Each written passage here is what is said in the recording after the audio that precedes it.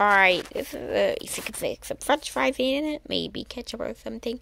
But you get the idea of this toy. So it's how does it take Punch Monkey and hit this. Alright, first up is Punch Monkey. So cute. Like big hands and arms there. I like Punch Monkey. Next up is Ramu. Got the Ram horns coming out. This is a cute little toy.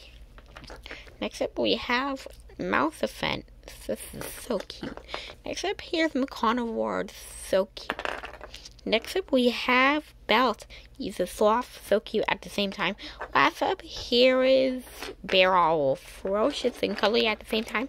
Take this one. Let's see what happens. Put them in there, all five together. Let's see what happens.